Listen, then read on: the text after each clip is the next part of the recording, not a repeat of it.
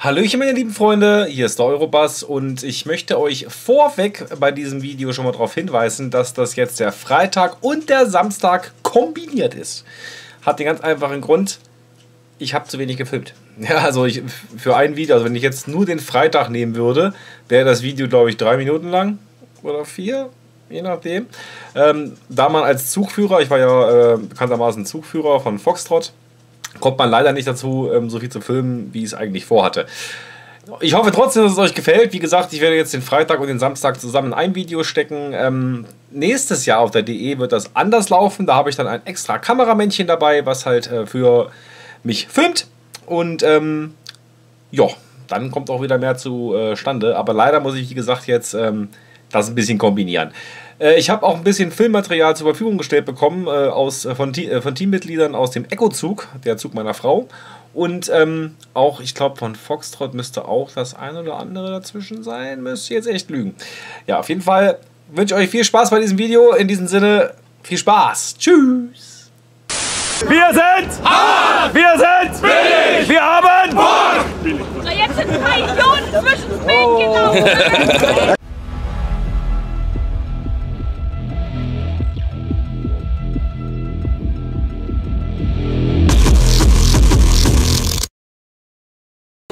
Einen wunderschönen guten Morgen. Es ist Freitag, Spieltag und hier ist mein Team Foxtrot. Guten Morgen, Foxtrot! Morgen!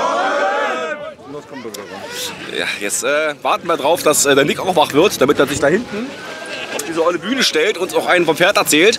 Dann ist die Aufstellung der Züge und äh, der Fraktion und dann reiten wir Richtung Außenposten. Ähm, in diesem Sinne sehen wir uns später. Haut rein!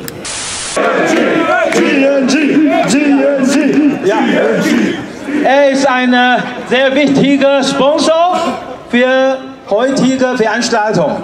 Wir Taiwaner oder die Diplomaten aus Taiwan sind sehr stolz darauf und ich möchte mich auch bei Ihnen, Herr Liao, äh, bedanken. So, meine Freunde, der fettkrass Außenkommander hat uns gerade fettkrass Ansage gemacht, wann das Ganze losgeht. Äh, verzögert sich natürlich wie immer um ein paar Minuten, ist aber nicht schlimm. Also, unser Zug ist gebrieft, die wissen Bescheid. Wir haben die ehrenvolle Aufgabe, diese verfickte Kirche einzunehmen. Ich hasse die Kirche. Jeder hasst die Kirche. Aber nein, er gibt uns die Kirche. Gerne doch. Ich glaube, der, hat das- ich glaub, der hat das mitbekommen, dass ich die nicht mag. Das wird das wohl sein. So, auf jeden Fall ähm, wird ein geiles Spiel. Wir sind alle sehr zuversichtlich. Äh, wir haben unsere Jungs gebrieft und unsere Mädels und das wird echt Porno. So, ich zeige euch jetzt noch mal so, wer hier alles so rumläuft. Da, guckt mal da.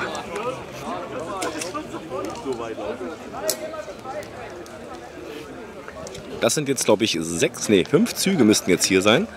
Und äh, ja, wir fangen gleich an aufzuräumen und die KGG mal so richtig in den Anus treten. In diesem Sinne, bis später. Oh, hier ist ganz, ganz hart Krieg, Alter. Guckt euch den Scheiß an.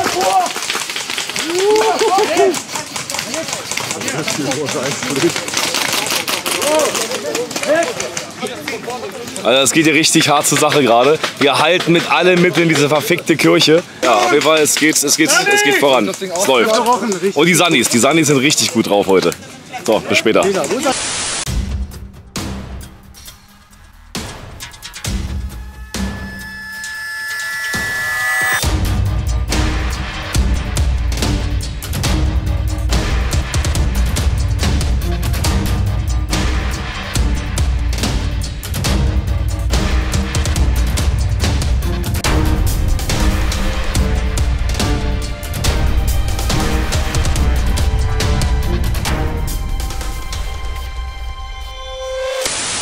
Meine Freunde, wir sind jetzt in Milizdorf. Ähm, hier passieren Dinge, ja.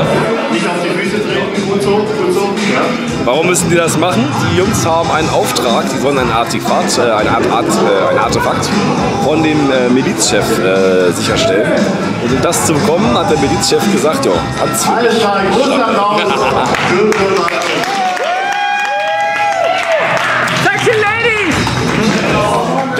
ähm, wir, haben, wir haben ihre Mission auf jeden Fall äh, geschafft, ja. Lustige Aktion. Ähm, hier in Milizdorf kann man nämlich auch richtige Getränke kaufen. Das haben die jetzt neu eingeführt, das gab es vorher noch nicht. Jetzt gibt es halt Getränke. Da gibt es die Getränke. Da gibt es die Getränke. Da gibt es die Getränke und das hier ist die Frau. Die Frau Tresen. Ach so, ist die Resi. So, das ist die Resi. Und ähm, das sind alles wilde Sachen. Und das wird jedes Jahr auf der DE cooler. Und ihr müsst unbedingt mal herkommen und euch mal den Spaß angucken. Ich weiß, es kostet ein paar Euro, aber es lohnt sich immer wieder. Also ich habe jedes Jahr meinen Spaß hier. Geiler Scheiß. Hat sie gesagt, geiler Scheiß. Ja. In diesem Sinne, äh, bis später. So, meine lieben Freunde, es ist Samstag. Heute ist der zweite Spieltag und ähm, wir hatten gerade schon ein kleines Briefing, das habe ich aber nicht aufgenommen. Der Balu, da ist er. Nee, ich bin nicht hier. Der ist auch mega motiviert, es wird ein geiler Tag heute. Ähm, ich weiß nicht, wie viel und wie oft ich filmen kann, weil gestern war schon sehr stressig, da habe ich schon sehr wenig gefilmt. Heute wird es wahrscheinlich noch weniger. Aber es ist trotzdem sehr, sehr, sehr, sehr geile Aktionen, die wir heute vorhaben. Also ich hoffe mal, ihr werdet die auch sehen. Es wird auf jeden Fall sehr cool und ich zeige euch mal kurz, wie es hier so aussieht.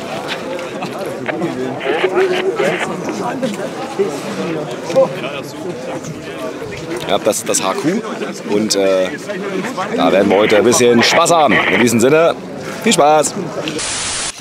So, meine Freunde, aktuelle Lageinformationen. Ähm, wir sind leider mitten im Krieg und wurden zurückgedrängt. Ihr hört es ja auch. Ja, irgendwo da hinten, da unten, da in dem Bereich ist der Feind. Die haben uns jetzt äh, leider zurückgedrängt. Jetzt hoffen wir auf Fahrzeugunterstützung. Wenn das der Fall sein sollte, werdet ihr das hier sehen. Ähm, ich melde mich jetzt erstmal wieder ab, weil es ist verdammt viel los hier. Und äh, es ist uncool. Es ist gerade echt uncool. Sie werden richtig in den Arsch gefickt. Aber gut, wir machen das Beste draus. Bis später. So, also, Lage. Scheiße. Alles scheiße.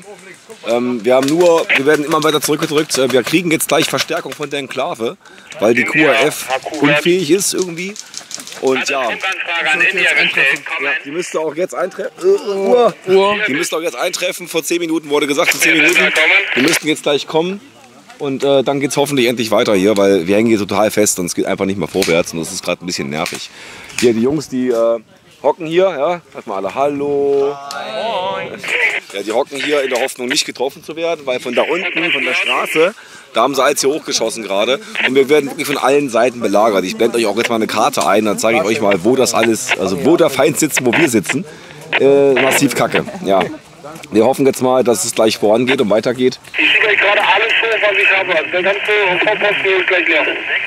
Siehst du? Jetzt äh, kommt hoffentlich ganz, ganz viele Leute. Gestern, da wisst ihr, da war es keiner drin. So, okay, dann in diesem Sinne, äh, wir sehen uns später.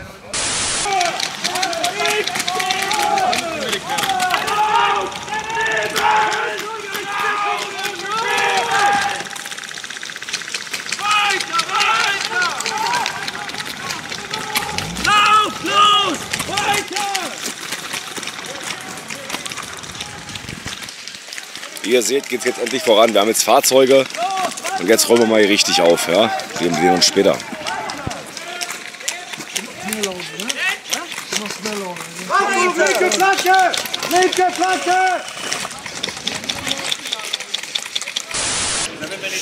So, meine Freunde, ähm, der Spieltag ist quasi fast rum. Wir haben jetzt, äh, jetzt 16:50, 10 Minuten vor 5 quasi.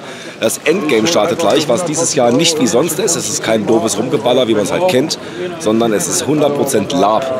Was genau passieren wird, äh, kann ich euch jetzt schon verraten.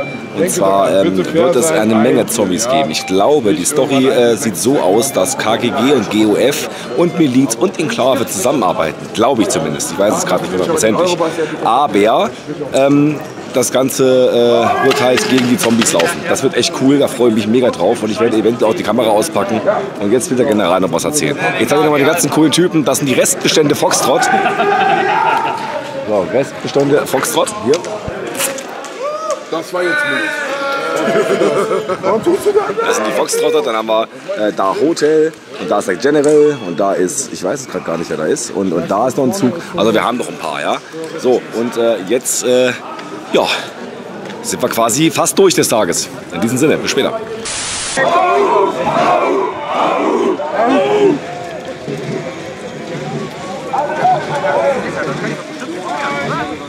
Der hat einen Reifen um.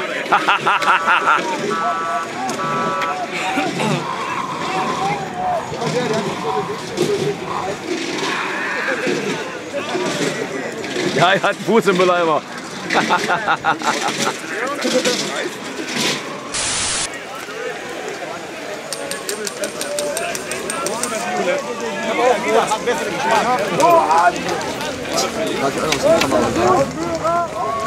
Der Typ hier. Der beste Zugführer, den es gibt. Alter. Genial. Ey, das ohne, ist nein, ohne Witz. Genial. Ich bin jetzt gerade ein bisschen gerührt. Man sieht meine Augen nicht, aber ich weine. Echt genial. Ja, das freut mich. Das freut mich echt, dass äh, euch das Spaß gemacht hat. Und ich habe ihn nicht dafür bezahlt, dass er das sagt. er kam von sich aus auf die Idee. Weißt du, wann die Bus uns wieder abholen? Moin. Ähm, weiß ich leider nicht. Aber ich schätze mal, die kommen jetzt gleich. Meine erste DE, wenn du nächstes Jahr wieder Zugführer machst, 21 Uhr, kurzes Nachbriefing am Panzer vorne. Kennt ihr den Typen da? Das ist unser Fettkrass General. Geil, geile DE, Alter. Er hat richtig fett gerockt. Tschüss. Meine Freunde, ich weiß nicht, ob ihr mich versteht. Ich habe in ungefähr fünf Minuten Geburtstag. Meine Stimme ist brutal im Arsch. Ja? Ich trinke jetzt gerade mein erstes Kaltgetränk. Ja, ist kurz vor. Äh, mein erstes Kaltgetränk in Form mit Alkohol und so. Weil wir hatten bis eben gerade noch Zugführertreffen. Ähm, und ich stehe hinter der Bühne. Ich habe keine Ahnung, was er Hallo. jetzt vorhat. Ich weiß es echt nicht. Aber ich ahne Schreckliches, ja. Ich ahne Schreckliches. Aber ich werde es euch gleich zeigen. Also lasst euch überraschen. So, meine Freunde, es geht jetzt los. Ich weiß nicht genau was, aber irgendwas passiert jetzt.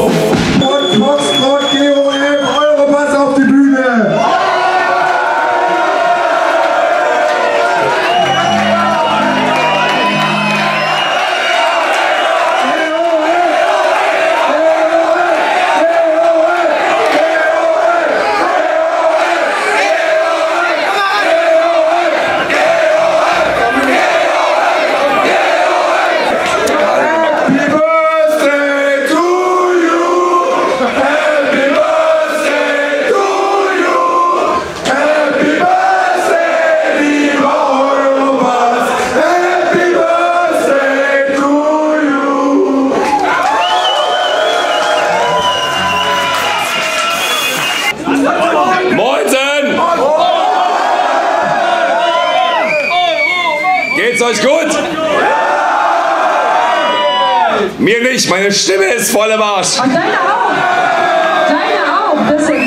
Erstmal herzlichen Dank für das geile Ständchen, was sie mir gesungen hat. Und bitte, sing nie wieder. Lass das die, die, die nette Dame da machen oder so, aber nie wieder du. Jetzt machen wir alle Dark Emergency 7.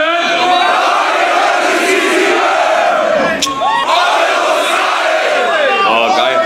So, auf jeden Fall, geil, schönes Ständchen. Ich wünsche euch noch einen wunderschönen Abend. Haut rein, bis dann und tschüss.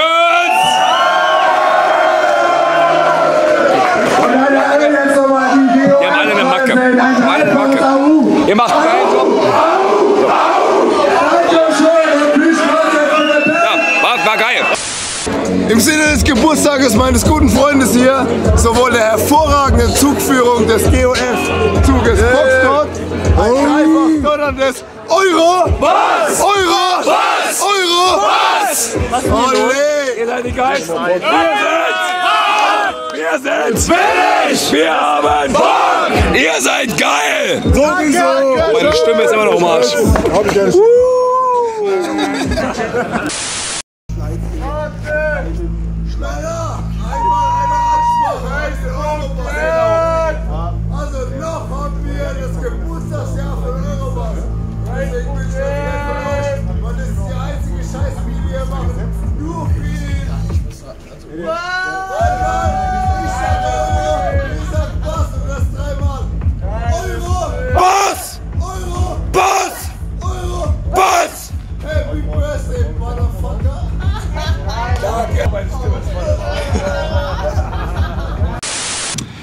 Hallo meine lieben Freunde, es ist Sonntag. Ich habe Geburtstag. Gratuliert mir bitte jetzt. Die Dark Emergency ist zu Ende. Und äh, wir sind jetzt auf dem Weg nach draußen und auf dem Weg nach Olda. Meine Federung federt ganz schön, wir sind ein bisschen überladen. Ähm, war richtig, richtig geil. Das Endresümee seht ihr jetzt gleich am Ende des Videos. Äh, da werde ich noch mal ein bisschen, ein bisschen mehr dazu sagen. Aber jetzt erstmal vorweg. Es war eine richtig geile DE. Wir hatten richtig mega Spaß. Sorry, dass es so wenig Ingame-Material gibt, aber ich hätte nicht gedacht, dass der Job als Zugführer ähm, mich so fordert, dass ich noch nicht mal groß Zeit habe, was zu filmen. Ja? Ähm, es war aber sehr geil. Meine Frau hatte auch, glaube ich, einen Spaß ihres Lebens. Ähm, meine Frau kam sehr gut an. Ja, also wurde mehrfach gesagt, als äh, erste weibliche Zugführer so einen geilen Job zu machen. Respekt. Also Schatzi, Ja, du bist geil. ich weiß. Ja. So, und äh, Achtung, Achtung, riesen Riesen Hubel, Hubel. Ähm, ja, äh, ich würde sagen, wir hören uns gleich nochmal. In diesem Sinne. Ja, wie gesagt, äh, ich komme jetzt mal zu meinem Endresümee. Meine Hunde latschen hier jetzt rum, deswegen so ein Krach. Ja. Wir haben jetzt äh, fast vier Wochen später, oder wir haben es sogar vier Wochen später, nach der DE und ähm, ich muss immer noch sagen, ich fand es mega cool. Mir hat die Dark Emergency so wie jedes Jahr mega Spaß gemacht. Diesmal ein bisschen anders, da ich als Zugführer war und äh, dementsprechend äh, Aufgaben hatte, die doch oh, nicht ohne waren, sagen wir mal so, ja. Ähm, es hat mir aber trotz alledem mega viel Spaß gemacht. Äh, meine Geburtstagsfete, die war absoluter Hammer, ja. Da bin ich äh, mega dankbar an alle, die mitgemacht haben und alle, die das so möglich gemacht haben, wie es halt war. Hat mega Spaß gemacht. Dafür auf jeden Fall nochmal ein dickes, fettes Danke. Es gab natürlich ein paar Kleinigkeiten, die äh, nicht so liefen, wie sie laufen sollten, aber das ist ja eigentlich immer auf ein Groß-Event so. Mich persönlich stürzt jetzt nicht. Ja, es gab auch ein paar, ähm, ein paar Regelgeschichten, wo die einen sagen, ja, das ist die Regel, und die anderen sagen, nein, das ist die Regel. Und äh, wir als Zugführer haben auch Informationen schon Wochen vorher bekommen, was gewisse Regeln betrifft. Die waren dann auch wiederum auf, am Spiel direkt auch wieder anders. Ähm, das ist aber alles Wurst. Ja, es ist, also für mich persönlich ist es total Wurst. Mir hat es trotzdem mega Spaß gemacht. Ja, ich sag immer, es soll, es, es ist ja nicht nur der Hintergrundgedanke, boah, wir fahren dahin, um zu gewinnen und alles muss strikt nach Regeln laufen. Nein, ich bin so einer, der sagt, ich fahre dahin, um meinen Spaß zu haben. Und ähm, den Spaß habe ich auf jeden Fall. Und äh, ja, mehr kann man dazu eigentlich groß gar nicht sagen. Es hat mir mega, mega, mega Spaß gemacht. Es war ein richtig, richtig cooles Event und ich freue mich auch schon megamäßig auf nächstes Jahr. Ähm, ich hoffe, dass ich nächstes Jahr auch wieder Zugführer sein werde. Aktuell haben wir die Airsoft-Helden ähm, eine, eine Aktion am Laufen, von wegen bewerbt euch als Zugführer. Ähm, weil es gibt zwei neue Züge, und zwar der Lima und der Kilo-Zug äh, pro Fraktion. Das heißt, jede Fraktion hat jetzt zwölf Züge und darauf äh, kann man natürlich auch sich bewerben jetzt. Äh, also, ne, wenn ihr euch berufen fühlt, macht das. Ähm, was ist mit mir und äh, Foxtrot? Ja, ich werde hoffentlich Foxtrot bleiben, Foxtrot-Zugführer. Also ich äh, bin da auch zuversichtlich, dass es erstmal klappt. Ja, natürlich kann auch immer was anderes zwischenkommen, aber wenn ich mich jetzt nicht zu blöd angestellt habe, dann sollte das eigentlich nächstes Jahr auch wieder was werden. Ähm, was das Film betrifft, wird das nächstes Jahr auf jeden Fall ein bisschen anders laufen, wie ich schon erwähnt habe. Ähm, nächstes Jahr auf der DE werde ich einen Kameramann dabei haben, damit ihr quasi mehr Impressionen bekommt und nicht nur äh, das bisschen, was ich jetzt, jetzt zusammengeschnubbelt habe. Ja, weil, äh, wie gesagt, es ging halt nicht mehr. Ich hatte einfach nie Zeit zu filmen. So, auf jeden Fall, wenn es euch gefallen hat, gebt ein Däumchen drauf. Aktiviert die Glocke, damit ihr informiert werdet äh, wegen neuen Videos. Und ja, ich wünsche euch auf jeden Fall einen schönen Tag. Wir sehen uns auf irgendeinem Spielfeld in Deutschland oder auch im Ausland. Und äh, ja, aller spätestens nächstes Jahr auf der Dark Emergency 8. In diesem Sinne, haut rein, bis dann und tschüss. Euer Eurobus. Tschu. Das, meine Freunde, war die Dark Emergency 7 und es war ein richtig geiles Event wie jedes Jahr. Ich sag nur, Freunde, gibt's mir!